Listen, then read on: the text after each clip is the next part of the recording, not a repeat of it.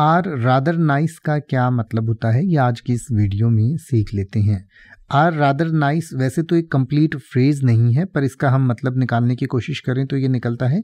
कि बल्कि अच्छे हैं या काफ़ी अच्छे हैं, यानी कि कोई चीज़ जिसे आप काफ़ी अच्छा बताना चाहें या और अच्छा बताना चाहें तो उसके लिए आर रादर नाइस कह सकते हैं। यानी कि जैसे आप ये कहना चाहें कि फूलदान में ताज़े फूल काफ़ी अच्छे हैं वे कमरे को रोशन कर देते हैं। तो आप कहेंगे these fresh flowers in the vase are rather nice they brighten up the room these fresh flowers in the vase are rather nice they brighten up the room या अगर आप ये कहना चाहें कि पड़ोस के नए पड़ोसी काफ़ी अच्छे हैं, उन्होंने गर्मजोशी से हमारा स्वागत किया तो आप कहेंगे the new neighbours next door are rather nice they greeted us with a warm welcome अब आप ऐसे ही किसी भी वर्ड का मतलब हिंदी और इंग्लिश में यूट्यूब पर सर्च कर सकते हैं। आपको मेरी वीडियो मिल जाएगी, जिसमें आप बिना किसी फालतू बकवास के सीधा उस वर्ड का मतलब समझ पाएँगे। तो ऐसी ही वीडियोस को देखते रहने के लिए चैनल को सब्सक्राइब करें और बेल आइकन को प्रेस करें।